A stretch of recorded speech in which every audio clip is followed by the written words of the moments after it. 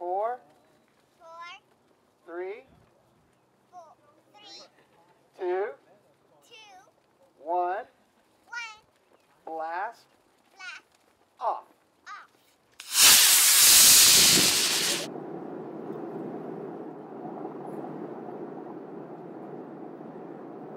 In a world covered by endless water, hundreds of thousands of people the world over were captivated by the story of a blue armored boy and his friends as they scoured a flooded world in search of a legendary treasure.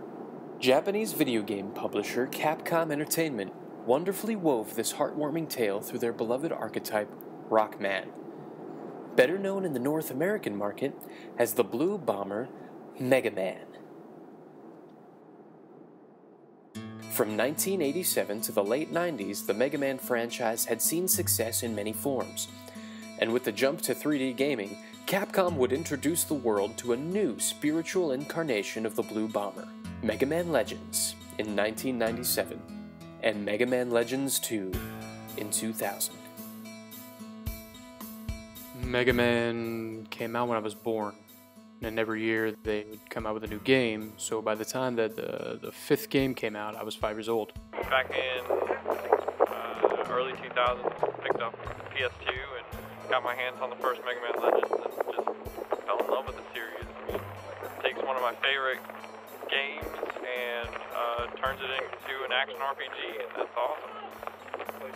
With Mega Man stranded on the moon at the end of Legends 2, and after 10 years of waiting, fans were ready to bring the Blue Bomber home.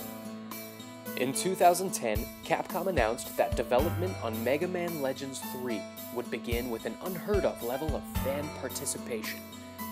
Fans voted on everything from the personalities of NPCs to the design of a new heroine that would prove essential in bringing Mega Man home.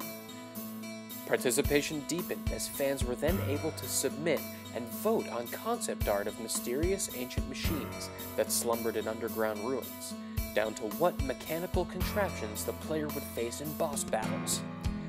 Never before had there been a level of transparency between game developers and fans. So it goes without saying, fans were crushed when it was cancelled. But nobody could have understood the fans' loss more than the girl that has always stood by the Blue Bomber's side. Mega Man's lifelong friend and loyal spotter, Roll Caskett. My name's Hope, and I'm with Get Me Off the Moon, and I'm uh, Roll Caskett today.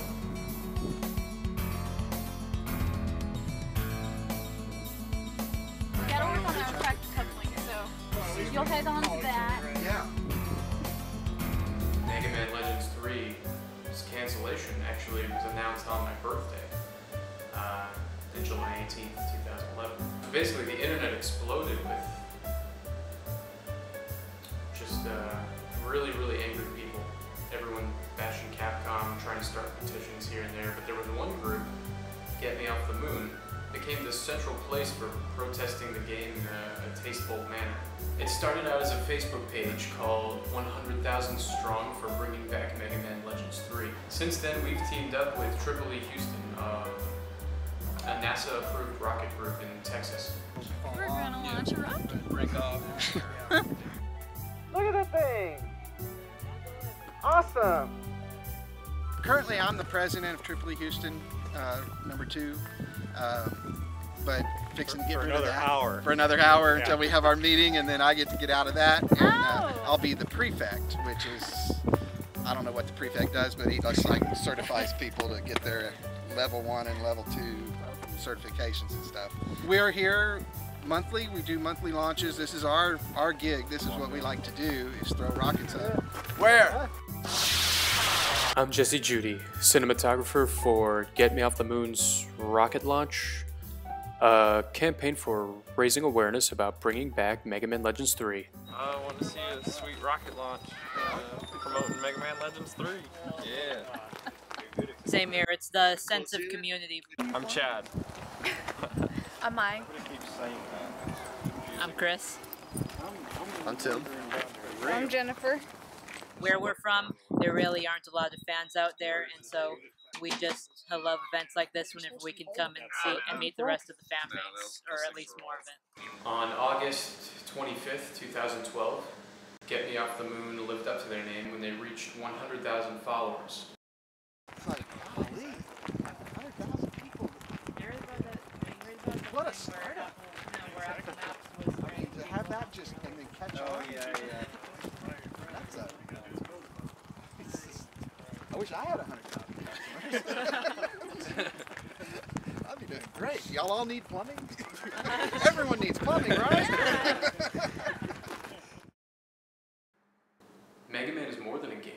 It brought us all together from all around the world. Uh, nothing like that has ever really happened in the gaming industry before.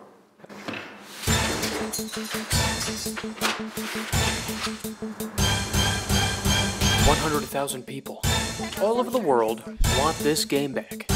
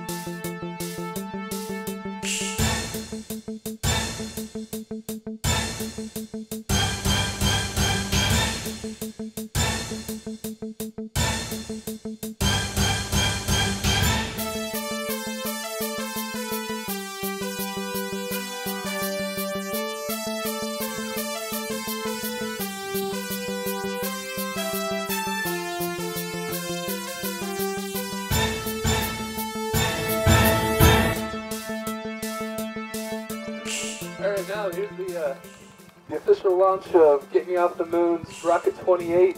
Get Mega Man back. All right, here we go. Five, four, three, two, one.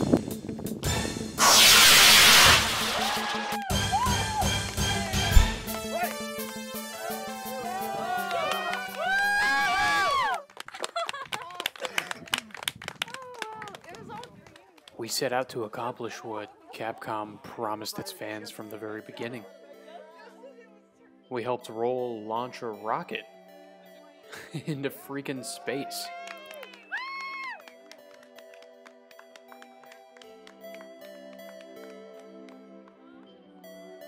just shows that these fans have the same spirit and tenacity as the Blue Bomber. Mean, even Roll. That's why. That's why Roll is such a great mascot for this campaign. She represents everything that the fans are feeling.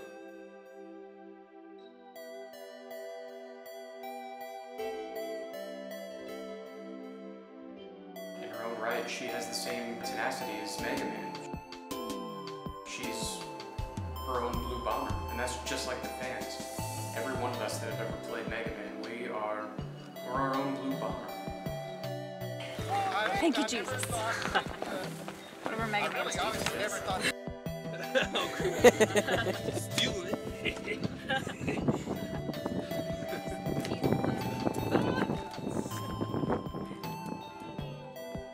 Pay attention to your fans. We are Mega Man.